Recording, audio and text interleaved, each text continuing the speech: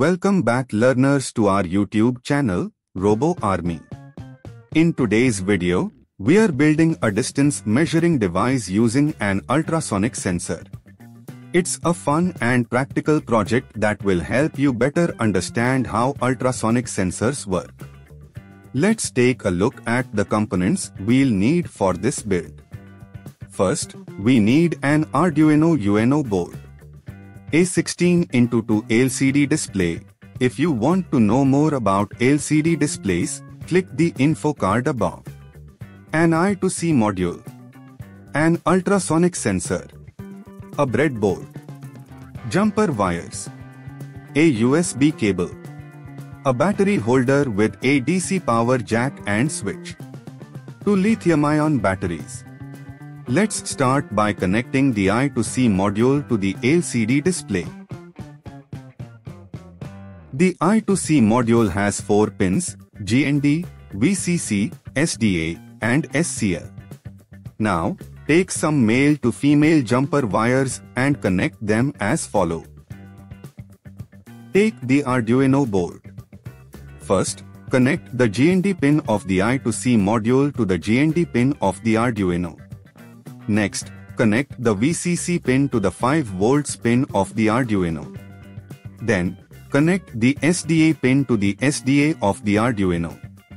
Finally, connect the SCL to the SCL pin of the Arduino. Now, we will connect the ultrasonic sensor to the Arduino. Ultrasonic sensor has two parts, an emitter, which sends out ultrasonic waves, and a receiver, which listens for the echo after the waves bounce off an object. The transmitted ultrasonic wave travels through the air and is reflected by hitting the object. The Arduino will measure the time taken by the ultrasonic waves to travel to the object and back, then calculate the distance using the speed of the sound. We know that the speed of sound in air is approximately 344 meters per second.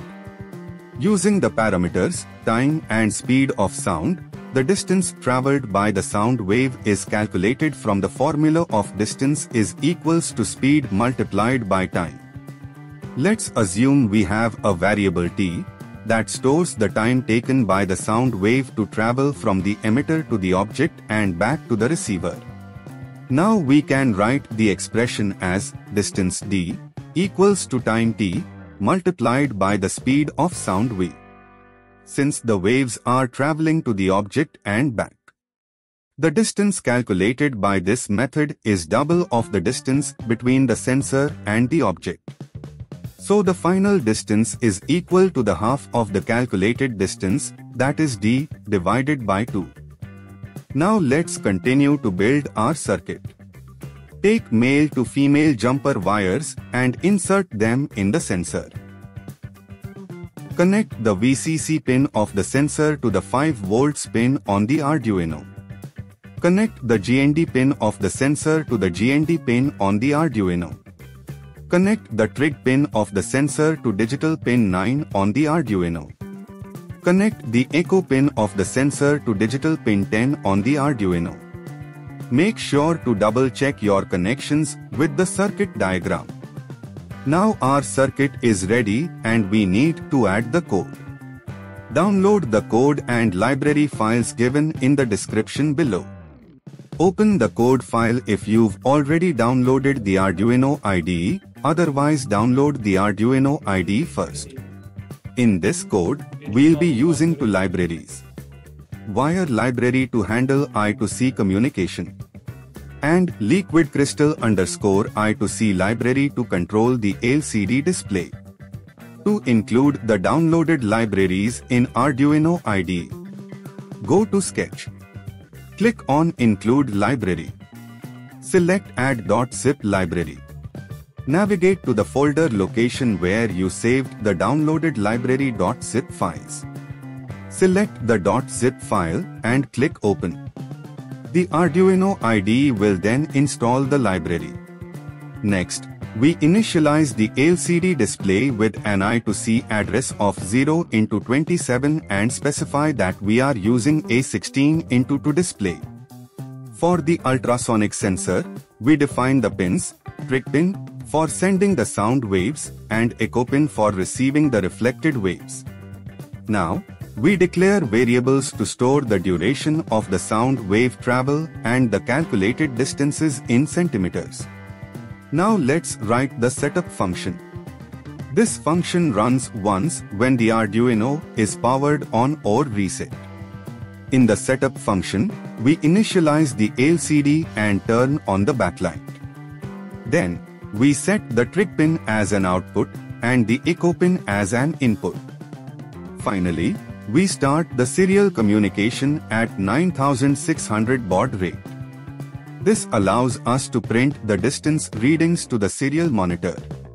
Now, we need to define the loop function, which runs continuously. First, we clear the trig pin by setting it to low for 2 microseconds. Next, we send a 10 microsecond high pulse to the trig pin. This triggers the ultrasonic sensor to send out a sound wave. We then measure the travel time of the sound wave using the echo pin. The pulse-in function returns the duration in microseconds. Using this duration, we calculate the distance in centimeters. The speed of sound is approximately 0.034 cm per microsecond and we divide by 2 since the sound wave travels to the object and back. We also convert this distance to inches by using a conversion factor of 1 inch equals to 2.54 centimeters.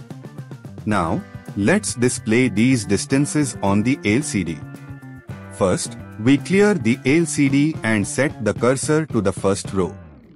Then, we print the distance in centimeters on the first row.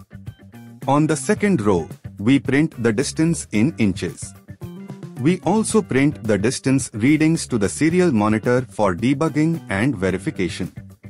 Finally, we add a short delay of 500 milliseconds to make the readings stable and readable. And that's it. Now upload your code to the Arduino. Connect the Arduino UNO to your computer using the USB cable. Then select port and board in the same menu and select Arduino UNO. Now upload the code by clicking the upload button. And now, with everything connected and code uploaded, paste the components on the breadboard like this. You can make this device portable by powering the Arduino by using this battery holder with a DC jack. And that's how our distance measuring project works.